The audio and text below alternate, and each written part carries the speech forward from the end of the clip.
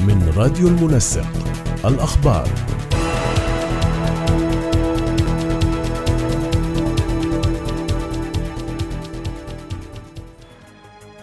أهلا ومرحبا بكم مستمعينا الكرام إلى حضراتكم الشريط الإخباري لراديو المنسق نستهله بالعناوين.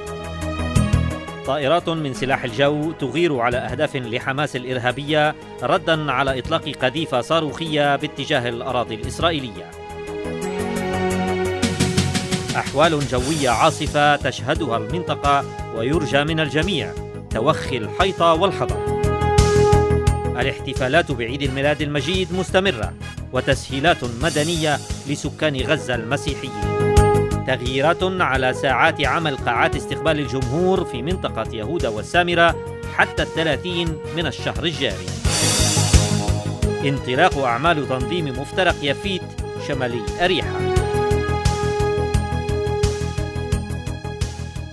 الأخبار بالتفصيل. أغارت طائرات من سلاح الجو الليلة الماضية على أهداف لحماس في قطاع غزة وذلك ردا على قيام إرهابيين مساء أمس بإطلاق قذيفة صاروخية باتجاه الأراضي الإسرائيلية اعترضتها منظومة القبة الحديدية.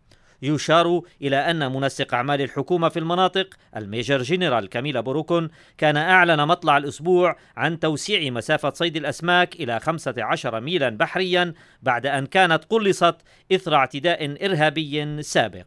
تشهد المنطقة أجواء شتوية عاصفة مصحوبة بعواصف رعدية ورياح قوية. للحفاظ على سلامتكم وحياتكم. يرجى التصرف بصورة سليمة وحذرة خاصة بما يتعلق بالسفر على الطرقات حيث يتوجب توخي أعلى درجات الحذر عند القيادة. وهناك خشية من حدوث الفيضانات والسيول في الوديان. وبسبب احتمال حدوث البرق والرعد من المفضل عدم التواجد في الأماكن المفتوحة. تعمل قاعات استقبال الجمهور التابعة للإدارة المدنية في يهودا والسامرة حتى الثلاثين من الشهر الجاري على نحو محدود حيث ستتم الاستجابة للحالات الطبية الطارئة فقط.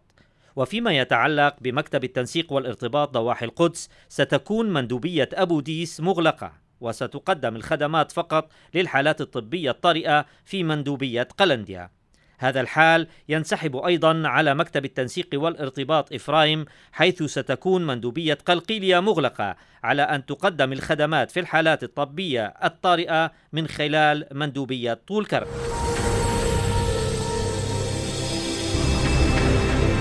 أخبار المنسق موضوعية ومهنية.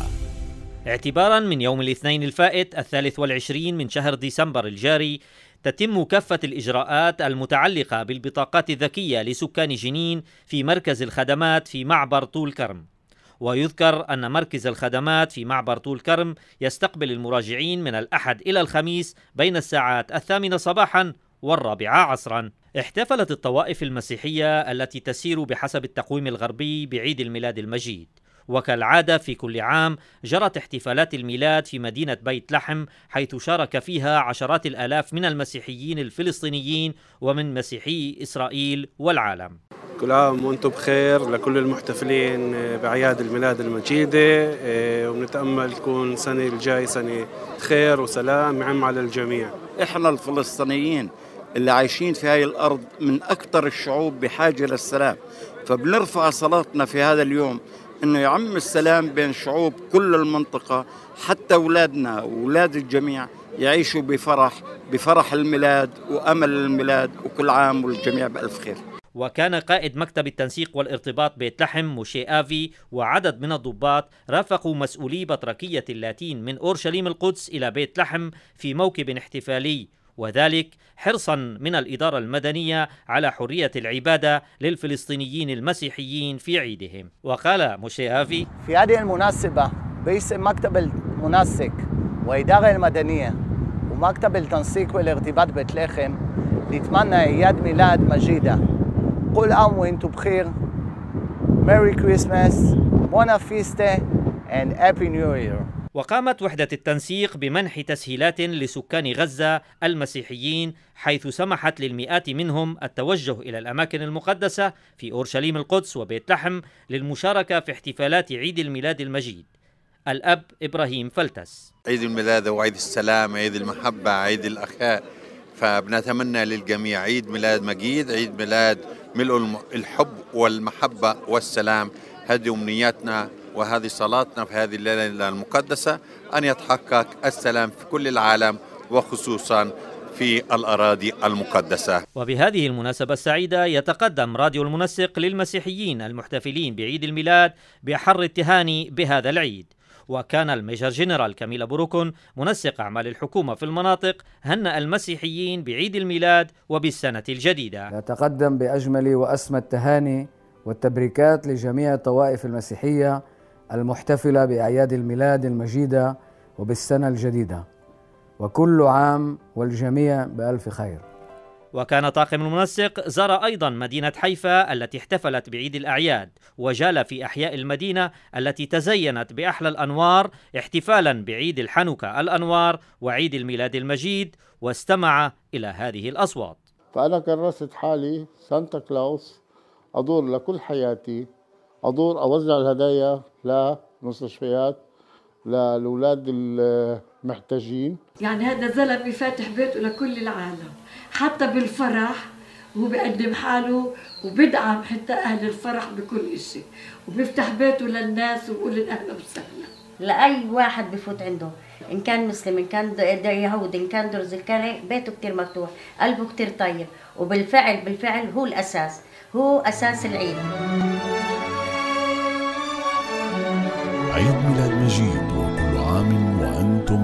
بألف خير. دق إبواب بهالليل إلن عليهن ينعاد وقول لكل اصحابي واهلي ضحكاتن أحلى الأعياد. تجري مديرية التنسيق والارتباط ضواحي القدس سلسلة من الحملات لرفع المنع الأمني خلال الأشهر القادمة. وستقام في السابع من شهر يناير القادم في هذا الإطار حملة لرفع المنع الأمني عن سكان حزمة وجبع. وستليها في الثالث عشر من نفس الشهر. حملة أخرى ستشمل سكان مخيم قلنديا وكفر عقب. يرجى من كل من يرغب بالحضور أن تكون بحوزته بطاقة الهوية الشخصية. تصدير التوت الأرضي من قطاع غزة مستمر. وقد تم مؤخرا نقل تسعة أطنان من الذهب الأحمر عبر مطار بن غوريون الدولي إلى إنجلترا. ويشار في هذا السياق أن تصدير التوت الأرضي يتم بالتنسيق مع مديرية التنسيق والارتباط غزة والتي تواصل الجهود الحثيثة لدعم الاقتصاد الفلسطيني بغزة وخاصة فرع الزراعة. بدأت مؤخرا أعمال تنظيم مفترق يفيت شمالي ريحة الذي يستخدمه آلاف السائقين الإسرائيليين والفلسطينيين يوميا. وتهدف هذه الخطوة إلى تحديث هذا المفترق الهام والتقليل من الخطر على سلامة السائقين من كلا الطرفين. وسيستمر العمل في المكان الذي تنفذه شركة نتيفي إسرائيل بموجب تخطيط وضعته الإدارة المدنية عدة أشهر. وسيشمل إضافة جزر مرورية ومسارات للإسراع والإبطاء ومسار خاص بالمنعطفين نحو اليسار. أخبار المنسق دقة ومصداقية. زار طاقم المنسق مؤخرا مصنع إسرافوت في كرني شمرون الذي يعمل فيه أكثر من 30 فلسطينيا. يصنعون منتجات ورقية مختلفة وبضمنها أوراق الاقتراع للانتخابات الإسرائيلية. واستمعت الزميلة لأور إلى مدير المصنع موشي حوجة. الذي قال إنه يقوم بتوظيف العمال من كلا الجانبين منذ يوم إنشاء المصنع ويأتي العمال الفلسطينيون من المدن والقرى المحيطة مثل قلقيلية وعزون والفندق وصرعى وغيرها מיום הקמתו הוא מעסיק פועלים ישראלים ופועלים פלסטינאים שגרים פה בכפרים מסביב כמו מקלקיליה ועזון. وتسود علاقات طيبة وتعاون تام بين كافة العمال في المكان الزميلة لأور وطاقم المنسق استمعوا أيضا إلى عمال فلسطينيين في المكان. أنا منيح ممتاز بنشتغل بوصل الشغل السبعة الصبح. بروح الساعة أربعة. شغل نظيف يعني ما فيش فيه تعب ولا فيه وسخ. ممتاز جدا. أنا جيت هون وكان عمري 17 سنة. عشت أغلب حياتي في المصنع وفي الشغل هذا. يعني الحمد لله العلاقة بيننا كويسة يعني هون. كان يهود والعرب إحنا دائما علاقتنا كويسة في بعض وما إلنا في اللي بصير برا يعني هيك اتفقنا إحنا من البداية.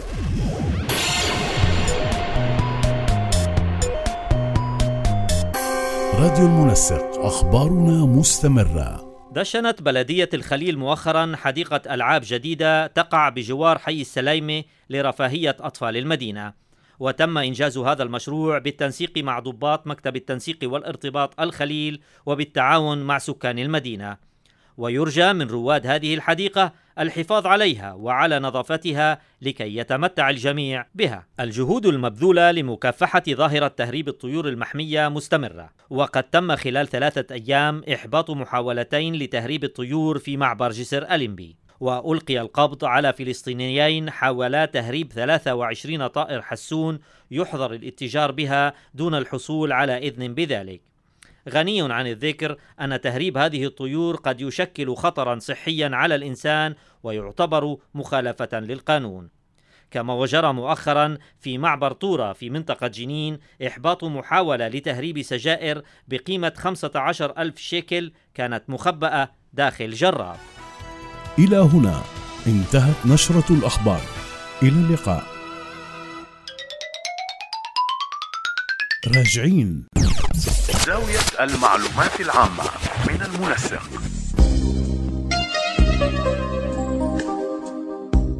هل تعلم عزيزي المستمع الكريم أن بحثا إسرائيليا جديدا جرى بالتعاون بين معهد الهندسة التطبيقية التخنيون وجامعة بار إيلان؟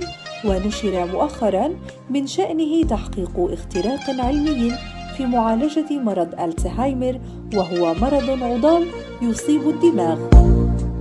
وهل تعلم أنه بفضل هذا البحث سيتمكن الأطباء من إيصال الدواء إلى الدماغ لمعالجة المرض إذ قام الباحثون بتطوير رقيقة إلكترونية دقيقة جدا تخادع الحاجز الدماغي الدموي الذي يحول دون دخول مواد كيماوية من الدم إلى الدماغ مما يمكن الأطباء من إيصال الدواء إلى خلايا الدماغ وبالتالي معالجة المرض.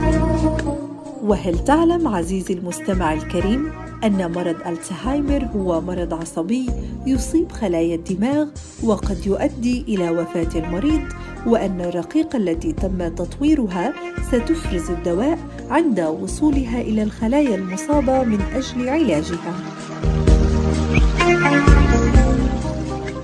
وهل تعلم أن مرض ألزهايمر يسبب الخرف لدى المصابين وأن من أعراضه فقدان الذاكرة ومشاكل في النطق والحركة وأخرى؟ مع هذه البشرى نتمنى الصحة والسلامة للجميع.